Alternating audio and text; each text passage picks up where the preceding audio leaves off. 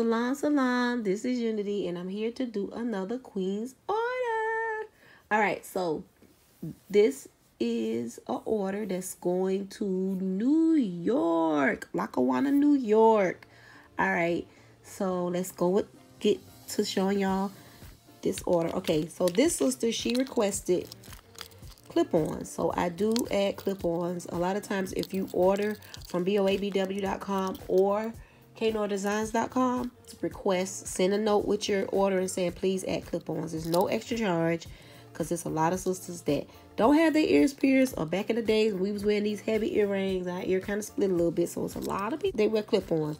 So this is a pair. Like i told y'all i'm always making these and this is called melanin life. Is gold in africa wearable art indigenous earrings hand painted earrings so these are on boabw.com i kept hers black on the back too i also kind of mixed her the wiring with a little bit of gold and copper. And then I put a gold, a gold clip on with it. So that is the first pair. Bring it down some. All right. So the next pair, let's go right here. The next pair, one of my best sellers, and you know, when I do these videos, I tell y'all the ones that um, China has stolen and mass produced. So y'all can look out for them. This is one of my designs that they have stolen and mass produced. As a matter of fact, they switch the colors. They'll make it purple and different colors. But if you're an artist, you know your work. And I still want to thank all y'all that still support original hand-painted art, black art. Thank y'all. This pair is called Mud Cloth on Fleek. So that's what these are called. And they on boabw.com. The back has this. And you know, sometimes on the back, it depends on how I feel.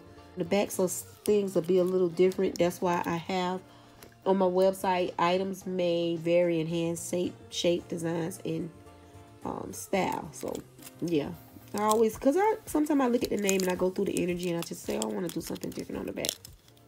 You let somebody just say, I want it exactly like it has on the picture. And I'm pretty sure y'all done seen these mud cloth art designs. I told y'all these was a hot seller. I'm always making these. That pop up red on the back. Yep. So that is those. And these are called indigenous Afrocentric art earrings. Yep, so these are shaman earrings, like medicine healing earrings. And a lot of people buy these. These are fun. And even with these, I always kind of make them a little slightly different so everybody can have their own little unique pair, you know? Also gave her a, a clip-on attachment. Alrighty. And the last pair is called Cultured Wood Heart Earrings. And they're so fly. I make these a lot too, y'all. This is the back. So beautiful and fun to create. Alright, y'all. So don't forget to subscribe if you haven't subscribed. Hit the notification button. Leave a beautiful comment. Alright, y'all. Salam, salam.